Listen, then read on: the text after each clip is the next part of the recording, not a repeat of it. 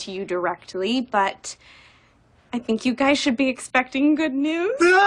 Oh gosh! Oh, I know, I know. You're not saying anything, But but, what you're not saying is wonderful. Um, all right, I'm gonna get some sparkling cider. Yeah, okay. yes. It wouldn't be a celebration without cider or a celebratory song. But this time I want you to sit right here.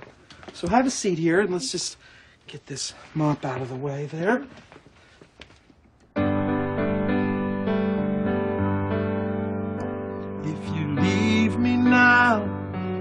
Take away the biggest part of me.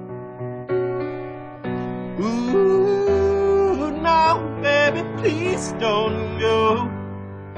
Ooh, now, I just want you to stay.